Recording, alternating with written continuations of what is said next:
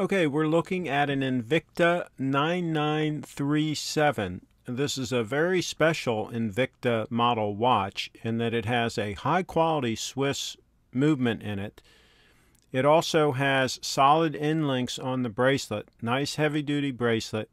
It does use push pins to size that bracelet, which I'm not a big fan of, but they work okay. Now, one thing I will caution you on on these watches is Invicta is known for having quality control issues. So buy the watch from a trusted merchant like Amazon that you can return it to easily. Make sure that they have a liberal return policy in case you get a bad unit.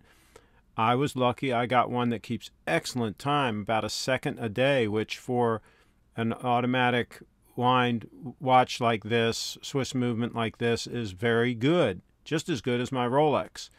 So buy it from somewhere that you can return it if you get a bad copy, that you can wear it for a couple of weeks and make sure that everything is working the way it should, and if necessary, return it.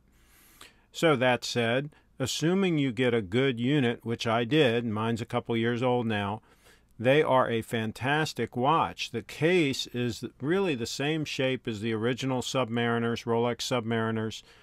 It looks from the side, from the top, it looks very much like a Rolex. Many people are going to think it's going to a Rolex. And the thing about that is Rolex had a great design. So the fact that these other watchmakers can use some of these designs because the patents have run out is a good thing. I mean, they can design a watch that functions and is gorgeous and is comfortable on wrist. This watch is extremely comfortable on wrist.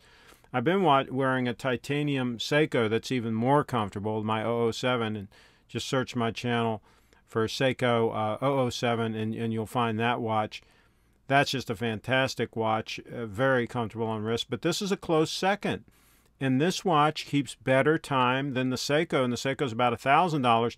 These are up to around 350 now on Amazon. They were around 300. Some places they were a little less than 300. I noticed today I checked there this 9937 is up to around 350, so it's getting a little pricey.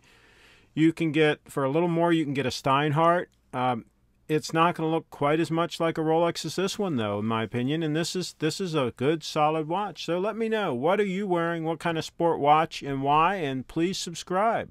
Thanks for watching.